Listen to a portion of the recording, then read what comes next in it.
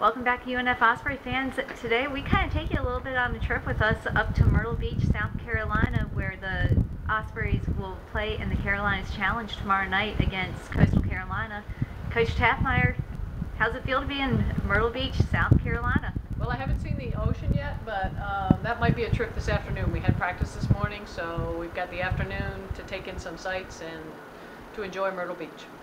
Now, you guys have come off a little bit of a rough week going one and two.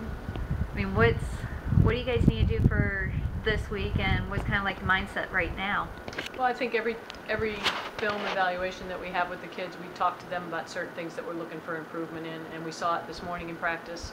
Um, we need to be the scrappier underdog team. That has to be our mentality every time we step on the floor. I thought we saw it um, in fits and spurts in our last game against Maryland Eastern Shore. We made a heck of a comeback, but we had to make it because we got 18 points down. We have to learn that a basketball game is 40 minutes, and um, we took a big hit the day before. Um, Kira came back for her first game and ended up hurting her knee. She's gone for the rest of the season, so it's time to rally the troops. We're going to have to have some other people step up. We made a couple of offensive adjustments. So we'll see how well we handle the adjustments. Now, we're playing in Myrtle Beach, just a few miles down the road from Conway, South Carolina, which is where Coastal Carolina is based. But the game is billed as a neutral site since the Carolinas Challenge is put on by the city of Myrtle Beach. What does it feel like just to play pretty much essentially in Coastal's backyard, but it's still a neutral site game? Well, it's a neutral site game, but we will have the away uniforms on, and it's a site that they're familiar with uh, because they play in this event every single year. So it truly is a home court advantage for Coastal, just on a different court.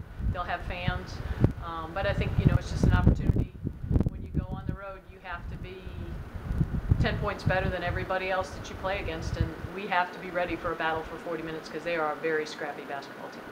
Now, Coach, we came off the Holiday Classic, and we've got the holidays coming up, especially for your team, holiday break coming up after tomorrow night's game. Got any holiday jokes for us? You came up with some for Halloween and for Thanksgiving. I think the biggest holiday joke is probably going to be on me. Uh, we've got 11 family members coming to spend Christmas with us, and I really haven't done much of anything. So when I get home Thursday morning at about 2, I have to go in Christmas mode for a couple days. So the, probably the joke's on me that I wasn't very prepared and didn't do much down the stretch. But I'm excited about my family coming to town. Kind of like a Griswold's Christmas? Yeah, probably pretty much. well, Coach, thank you so much for taking out time of your day and enjoy the beautiful weather in Myrtle Beach. Thank you and happy holidays to everyone else.